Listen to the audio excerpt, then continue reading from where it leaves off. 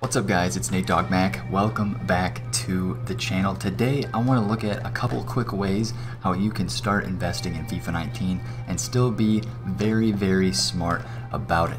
Um, there are a lot of cards right now that are very cheap and that are very undervalued for what they will eventually be. Uh, so I, I want to take a look at some of those cards today and how you can possibly build a starter team um, out of investments um, and put be able to play with some good players in the game and also look at some major coin gains later on in a couple weeks when there's weekend league demand and when the full game comes out when there's a lot more people on this market. Uh, first of all, I just won this Benicia on a bid for 17,000 coins and he's going for around 25. So I'm to list him up really fast. That'll be a very nice flip. Late night bidding, always very good. Um, I've been watching Umtiti as well. Um, he's had some I've had some uh, very close calls with him, getting some nice bids and uh, then relisting them. So this is the team that I'm rocking with right now. And talking about investment wise, there are just a couple players in here that I really think are going to go up um, into that first weekend league hype. Uh, when the full game comes out, they're going to start trickling upwards in value from now until then. Um, as you just want to watch their price, of course, uh, monitor their price for a couple days, and if it starts to go up, then maybe go in on one and, snatch one. But especially this Toni Kroos card, I got him for 40,000 coins, and I mean, I just thought it was too cheap, which I still think, I'm, I'm making 10k on this card right now. He's sitting at 50k, and uh, I looked back, you can use Futbin now. Futbin is up and running. It looks awesome. Let me pull it up right here for you guys. We'll go over to Futbin, um, and I'll show you guys this.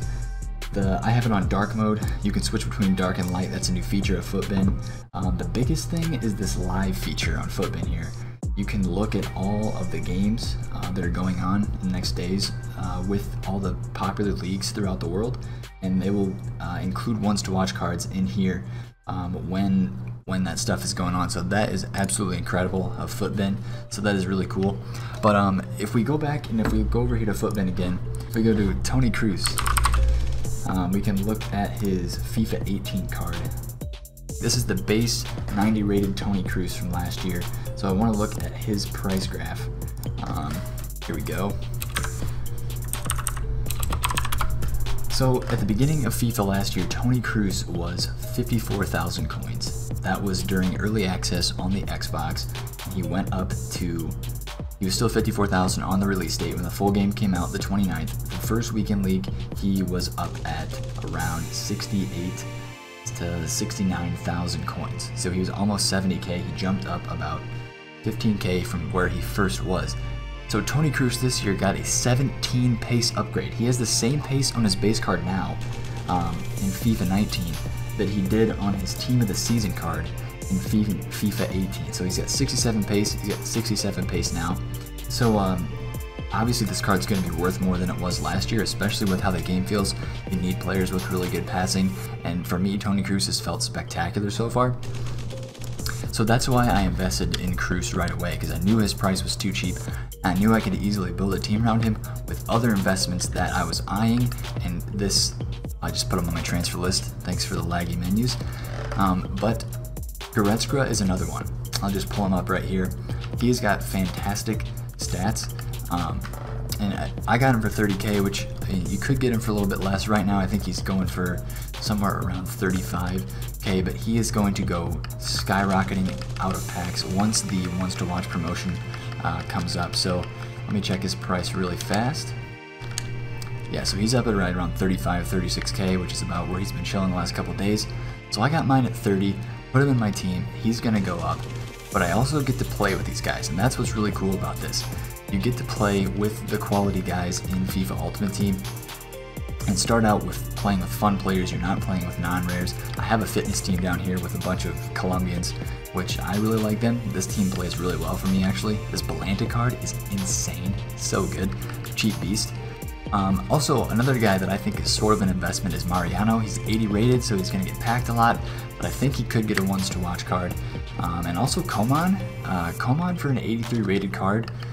83 rated left uh, wing, left mid in the, the Bundesliga for Bayern. That's a green link to Goretzka, so people who want to have Goretzka in their team, I think they're going to want Coman too on the wing. That's an easy link, and he's also French, so it's an easy link that you can get to a striker as well if he if you need to get another link. So I see Coman as a great investment play. 10,000 coins, um, and there's other left wings in the German league, the Bundesliga, like Reus, like uh, Bailey, uh, but they're just not to the quality that Kingsley Coman is. I mean, if you look at his card, he's got five star skill moves. He does have a three star weak foot. Um, but he is blazing, blazing fast on that left side for me. I've played a couple of games with him already. But I just wanted to kind of give you guys this idea that if you find a, a card that's just kind of, it's just too cheap, um, and a couple, and like if you're if you were able to snipe one of those uh, Fred cards before they updated his price range to 20k, oh my gosh, he's extinct at 20k now. But when he was extinct at 10k, if you got one and you're holding on to it, make a team around him. Throw uh, Chris Smalling and Luke Shaw, they're both pretty cheap, uh, in the back behind him, and then you can have a nice triangle there of three Manchester United guys where you will be able to uh, invest with your Fred, but still use a quality player and have fun with that card uh, while you're investing in it. So that's what I would say to you guys. If you have the chance to invest in cards that you can also play with, do that because it's almost like double dipping and it's going to be more fun for you um, as a player of the game. One thing I also want to talk about is big news is coming to the channel. Um, you you guys will see very soon, so make sure you follow me on Twitter at NateDogMac FIFA. Big news is dropping here very soon. I'm super excited to talk about it. Super excited to show you guys. Hopefully this video helped you out. It was really simple, really quick, but I want to just kind of talk about some of those things. When you see something like that, um, I feel like it could be really good help to you guys out there watching. Alright boys, it's been Nate Dog Mac. I'll catch you guys later. Peace out.